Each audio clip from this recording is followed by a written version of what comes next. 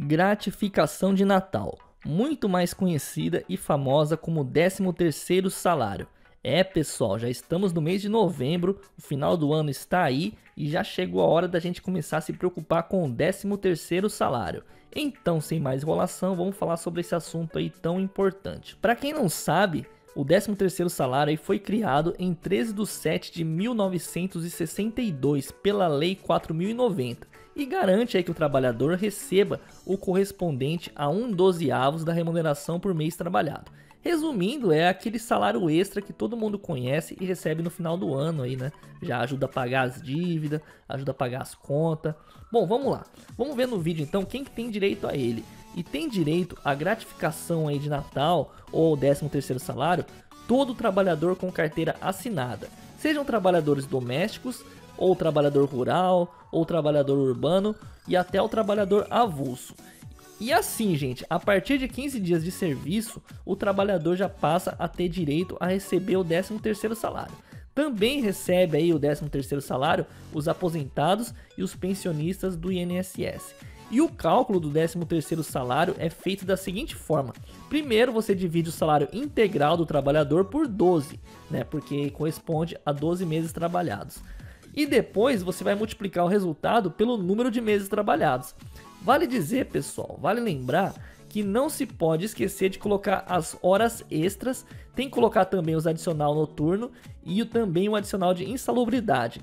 E claro, acrescentar comissões adicionais aí, né? Vamos supor os vendedores, enfim, tem que colocar as comissões. Porque tudo isso entra no cálculo do 13 terceiro salário. E também no caso do trabalhador, assim, ter mais de 15 faltas não justificadas, repito, 15 faltas não justificadas em um mês de trabalho, ele deixa de ter direito a um 12 avos relativos àquele mês, né?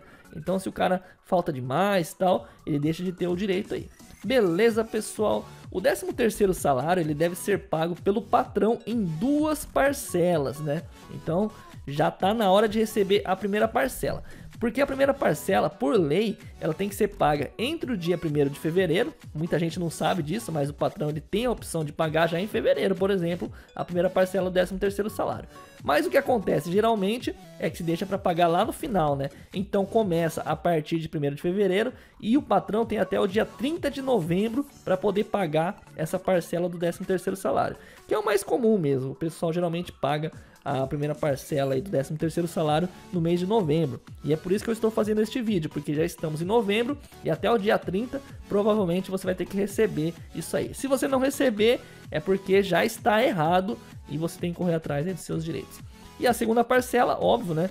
Se a primeira é de 1 de fevereiro até 30 de novembro, a segunda parcela ela vai ser no mês de dezembro e ela deve ser paga até o dia 20 de dezembro. Então anota essa data aí. Primeira parcela de 1 de fevereiro até 30 de novembro, segunda parcela até a data de 20 de dezembro. Tendo como base de cálculo aí o salário de dezembro menos o valor adiantado da primeira parcela. E assim, gente, Caso a data máxima de pagamento do 13º salário caia, vamos supor, em um feriado ou em um domingo, Daí o patrão, né, o empregador, ele tem que antecipar o pagamento para o último dia útil anterior. Então é sempre anterior e nunca posterior, nunca depois, né? Então esse negócio de se pagar depois porque caiu no domingo tá errado. Na verdade, tem que pagar antes.